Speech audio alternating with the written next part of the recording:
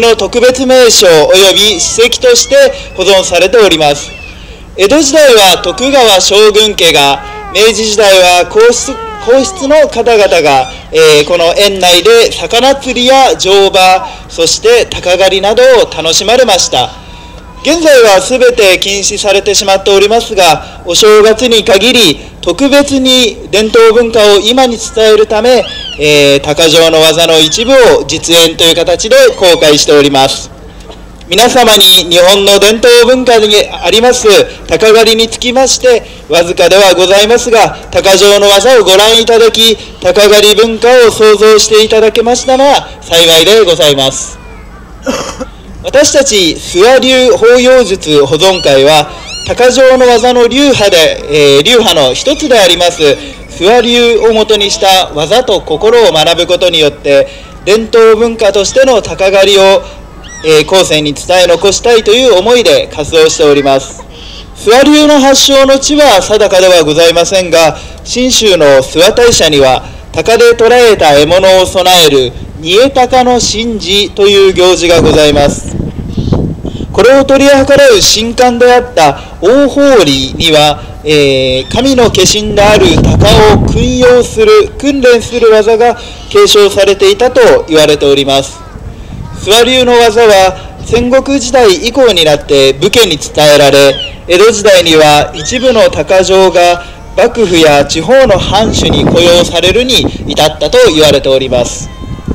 現代の諏訪流は徳川将軍家に仕え江戸時代、えー、失礼いたしました。明治時代以降は皇室に伝ええた小林家に継承されたものが元になっております。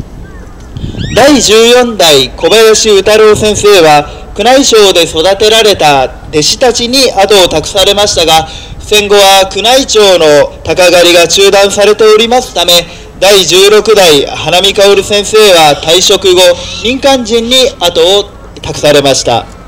当保存会は指定制度の下で第17代田子森善次郎先生にご指導を賜りながら諏訪流鷹匠の技と心を学び門下生は型の修練を通して鷹に対する心の使い方を知り鷹匠の技を体得しております。この度は日々の努力の成果として鷹と門下生による鷹狩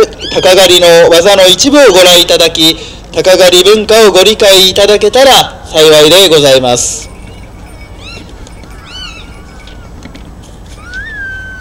実演に先立ちまして皆様にお願いがございます。鷹は非常に警戒心の強い動物でございますので見慣れない動きに驚きやすくお子様方におかれましては、えー、急に走ったりボール遊びをするなどについてはお控えいただきますようお願いいたします。またご観覧の皆様の写真撮影は結構でございますが鷹の視界に光が入ると驚く場合がございますので、えー、鷹の飛行中にフラッシュをたかれませんようこちらにつきましてもお願いいたします。なお実演に際しましては生きた鳩を使う場合がございます。これは鷹狩りを通して生態系における鷹と餌動物の関係を理解していただくため獲物を取るところをお見せしております。捕らえた鳩はできる限り苦痛を与えないよう配慮しておりますので、え、ご理解いただけますようよろしくお願いいたします。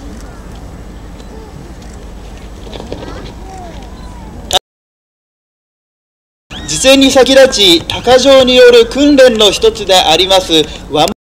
をお見せしております。訓練中鷹をさまざまな環境に慣らすため鷹匠は街中や郊外に鷹を据えて出かけます。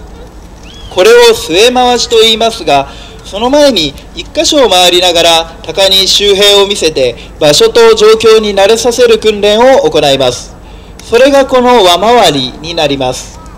鷹は自分の縄張りの外に出ることを不安に感じる習性がありますが鷹匠はその感覚を広げてどこへ行っても自分の縄張りであるかのように自由に狩りができる環境にならすよう訓練をいたします。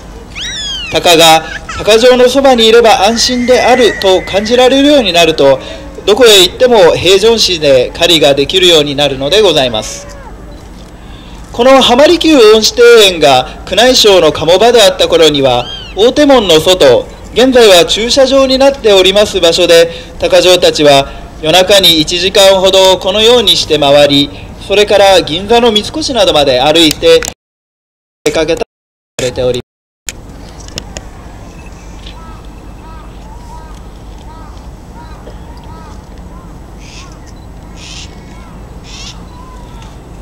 それではこれより実演を始めさせていただきます。門下生は整列してください。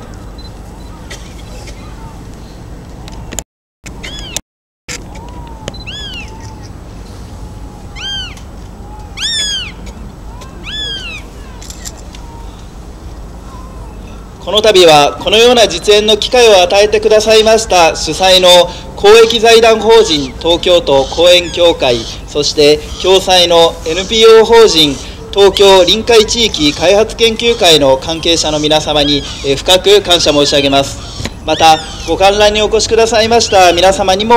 心より感謝申し上げます。それでは、党保存会会長で諏訪流第17代宗家高森善次郎からご挨拶申し上げます。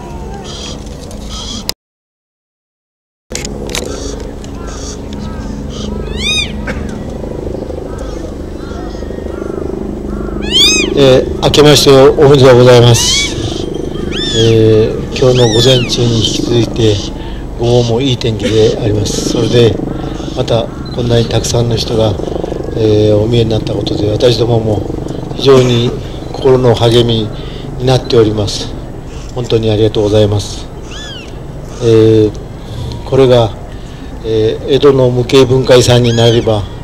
なおいいんですけども、えー、こう若い人たちの励みになるようなそういうふうな、えー、肩書きをいずれもらえるように頑張りますのでどうぞあの最後までご観覧ください。よろしくお願いします。どうもありがとうございます。